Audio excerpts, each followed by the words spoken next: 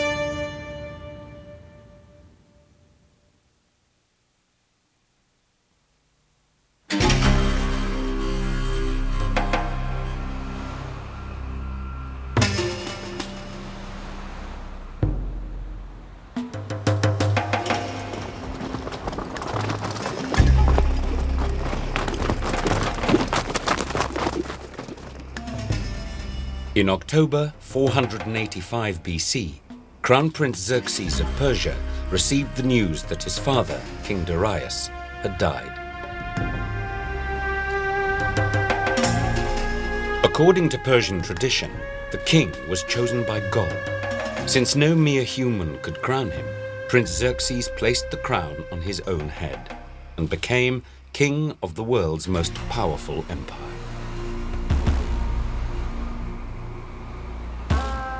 The king ordered his architects to build a great avenue of palaces. The new Persian capital, Persepolis, was to become the most splendid city in the ancient world.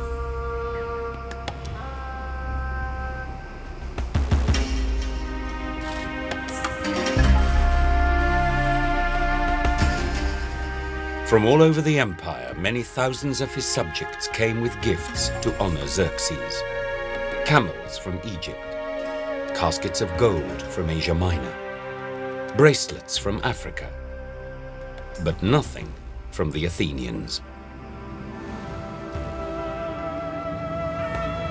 Xerxes had not forgotten Persia's failure to conquer Greece when his father's fleet had been destroyed by storms and his army defeated at the Battle of Marathon. He was determined Athens should pay for this humiliation. Resistance to Persian rule was not something he would tolerate.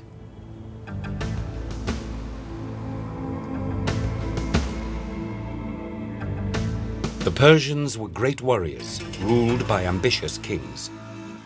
By the 5th century BC, the Persian Empire stretched from Egypt to the Black Sea, and from Asia Minor to the edges of India.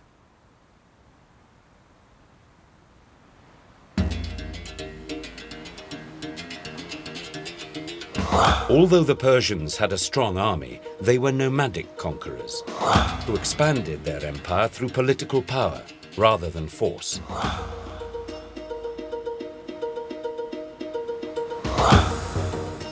Religions and local traditions were respected, but all those he conquered bowed down to the King of Kings.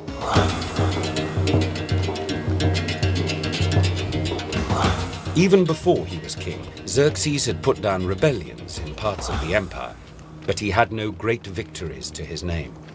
He had not added even a handful of earth or a cupful of water to his father's empire.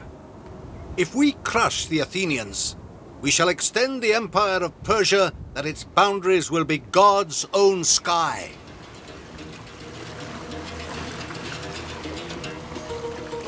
Xerxes' obsession with avenging his father's defeat could only be satisfied when Athens had been destroyed.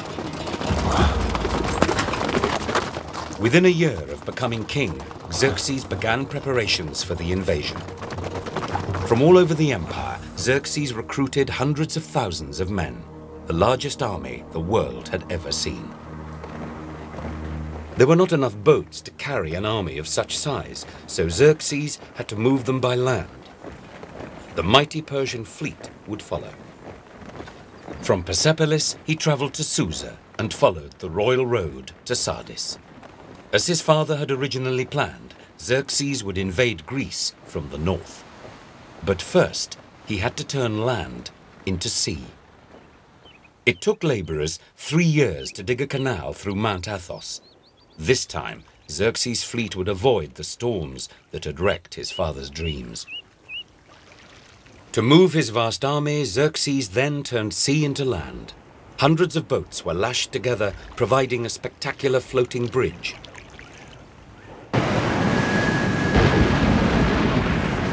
Violent summer storms pounded the bridge and eventually it was smashed to pieces. When Xerxes heard of this, he commanded that the sea be punished with 300 strokes of the whip and the words, Xerxes the king will crush you whether you like it or not. Or so the Greeks tell the story. When the sea was calm once more and the bridges had been rebuilt, Xerxes prepared to lead his men into Europe.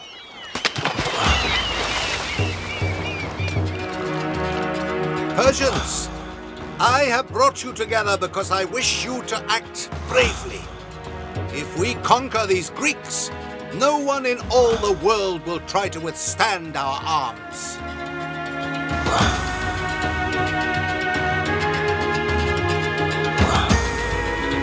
Such were their numbers that it took two days for the Persian army to march across the floating bridge from Asia into Europe. Then they turned towards Athens, with the Persian fleet never far away.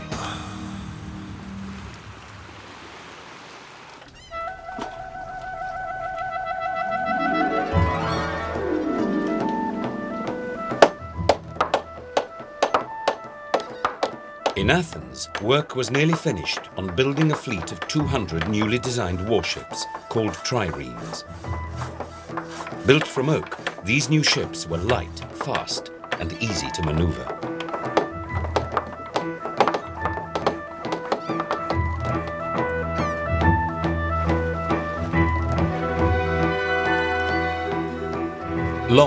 Streamlined, each galley was built to hold three levels of oarsmen. 170 rowers in all. The trireme would be the secret weapon of Athenian power at sea. It was Themistocles, a young, ambitious politician, who had persuaded the Athenians to spend the money on building the ships.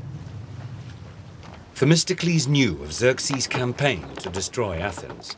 His strategy was to convert Athenian power from the spear and the shield to the rowing bench and the oar.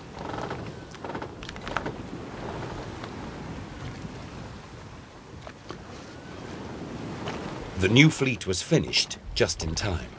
As the final triremes were launched, word came that the Persian army had entered Greece. On hearing news of the invasion, the Athenians sent an ambassador to the oracle at Delphi to ask advice about the Persian enemy.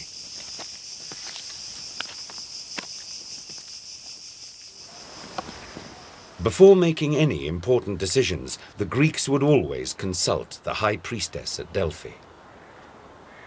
The Athenian ambassador climbed to the temple at the foot of Mount Parnassus to listen to the voice of the priestess wailing from beneath the ground.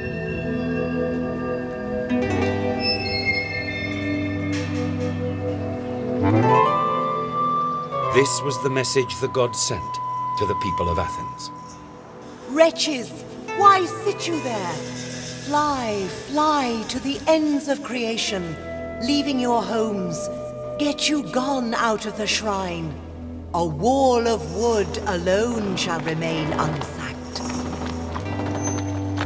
Hearing the message of the oracle, some Athenians panicked and wanted to surrender the city at once. Themistocles chastised them for their cowardice.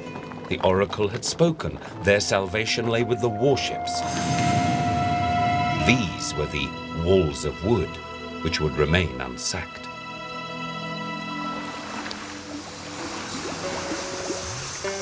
The Persians sent envoys to the Greeks demanding earth and water, tokens of submission.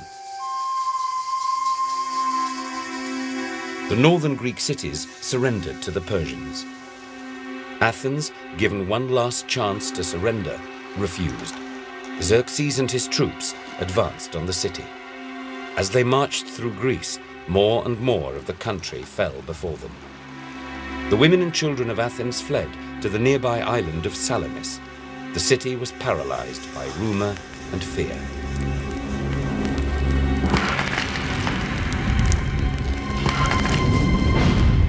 Only the sick and infirm were left behind.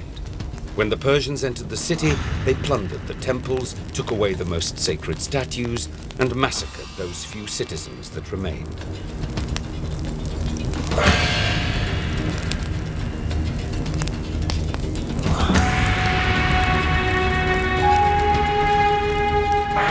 Xerxes watched as the city burnt to the ground.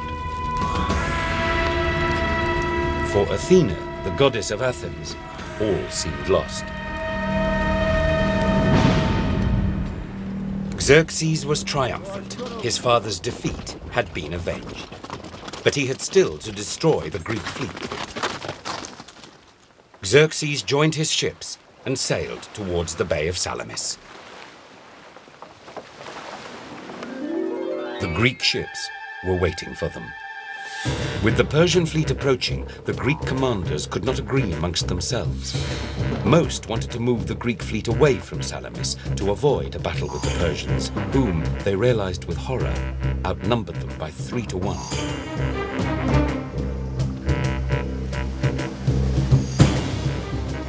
But Themistocles was determined to stay and fight.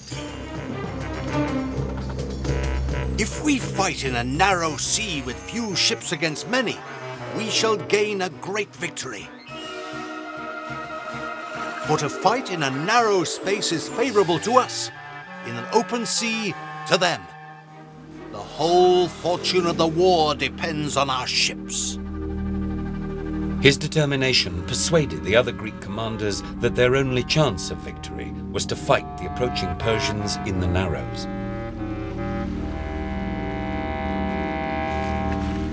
As the other Greek ships prepared for battle, Themistocles sent his most trusted slave to Xerxes' camp with a message for the Persian king.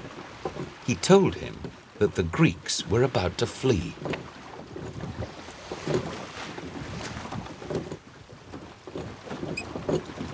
When the slave returned, he reported that Xerxes had fallen for the trick and had ordered his captains to spend the night blocking all the escape routes.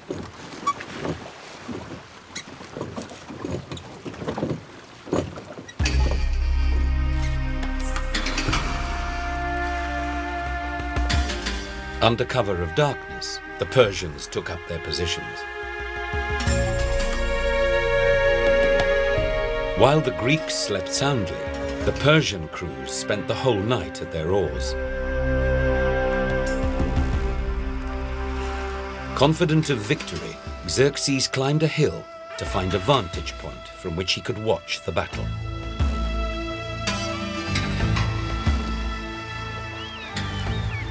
By morning, the Persian ships were in place. Some blocked the western strait, the rest packed the narrow waters of Salamis Bay. They waited for movement from the Greek fleet, but none came.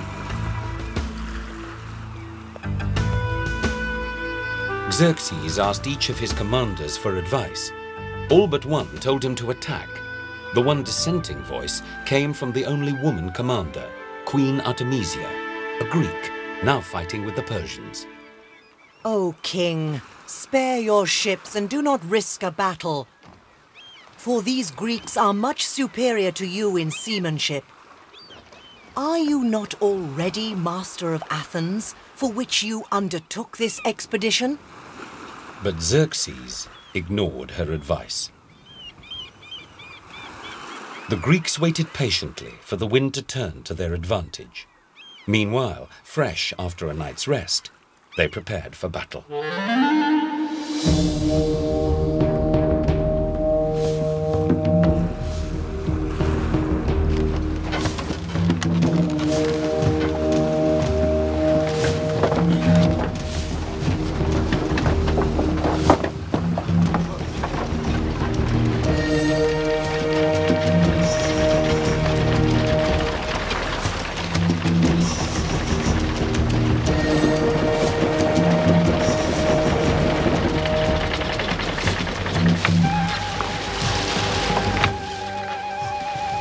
Was now blowing south, pushing the Persian boats ever closer to Themistocles.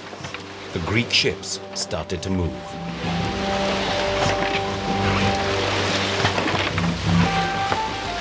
The Persians, exhausted after patrolling all night, realized their mistake. The Greeks, far from trying to flee, were about to attack. The young men of Greece were fighting for the very existence of their country.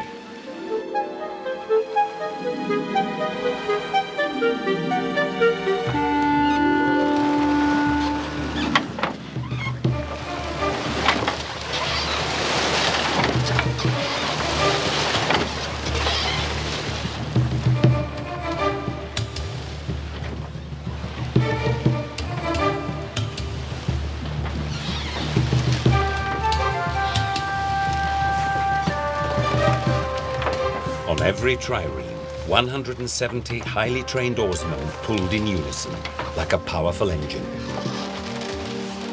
To frighten the enemy, the beaks of the boats were painted like faces. On the shores, Athenian spectators cheered. But at first, it seemed as though the Persians had the advantage.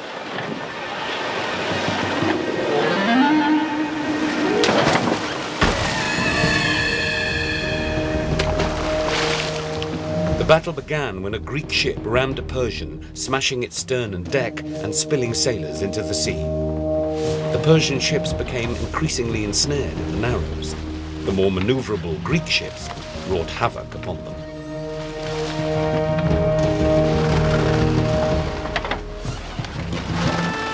In the midst of the battle, Queen Artemisia's ship seemed doomed. She was closely pursued by an Athenian trireme. Surrounded on all sides, she panicked. She bore down on another Persian ship. Seeing no alternative, she rammed and sank it.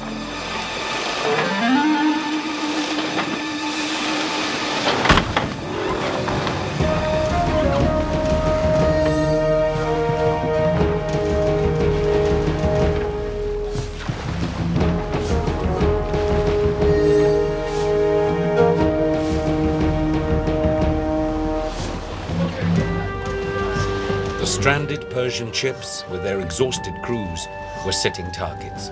It was just as Themistocles had planned.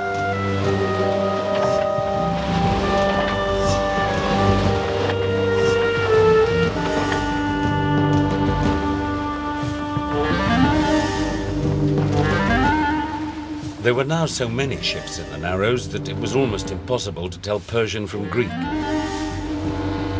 The Persian king watched, while his fleet was ensnared like fish in a net.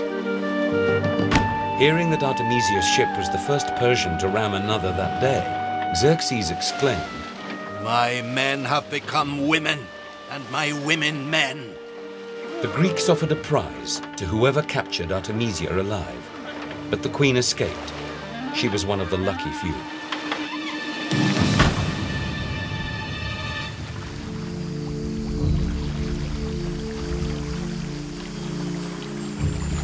By the end of the day, over 200 Persian ships were sunk. The Greeks lost just 40.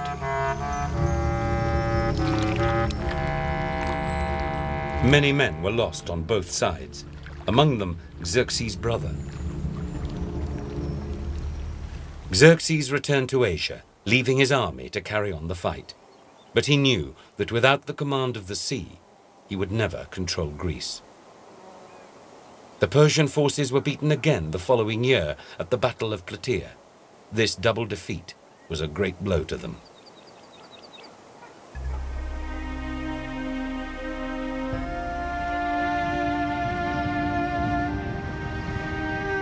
Xerxes finally reached Persia, followed by the remnants of his army. His vast empire, although still intact, would not include Greece.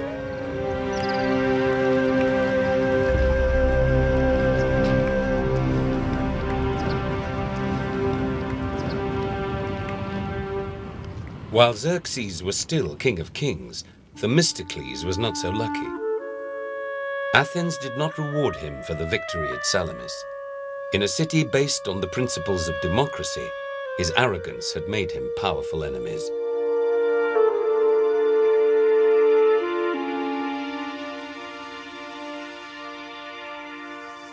The citizens gathered to cast their votes and decide his future. If more than 6,000 named Themistocles, he would be exiled from Athens for 10 years. The votes were counted. Themistocles was forced to leave the city at once. There was nowhere in Greece for him to go.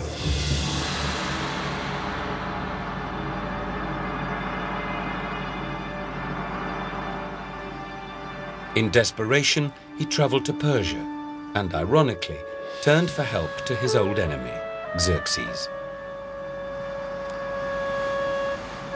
Some say that Themistocles met King Xerxes himself. More likely, it was the king's son, Artaxerxes, who received him. I am the Athenian who has done you the most harm and the most good. If you destroy me, you will be destroying an enemy of the Greeks. These words served him well, and he would spend his remaining days at the Persian court. The Greek victory at the Battle of Salamis in 480 BC was a great turning point for Greece and for Western civilization. The birth of the classical age was also the beginning of written history. Salamis was the first battle to be accurately recorded by a historian. Recognized as the father of history, Herodotus centered his work on the Persian invasion of Greece and the Battle of Salamis. I, Herodotus of Halicarnassus, publish this research to preserve the memories of the great and wonderful actions of the Greeks and the barbarians. After their victory at Salamis, the Athenians felt a new self-confidence. But the greatest achievements of classical Greece were yet to come. Without the turning point of Salamis, there would have been no Athenian League, no Athenian Empire, no center of the arts, no Parthenon, no Golden Age. High culture flourished in 5th and 4th century Athens. Aristotle and Plato produced their greatest works. This was the age of Greek theatre of Greek philosophy, of classical architecture and sculpture, the very foundations of our modern culture. Thank you.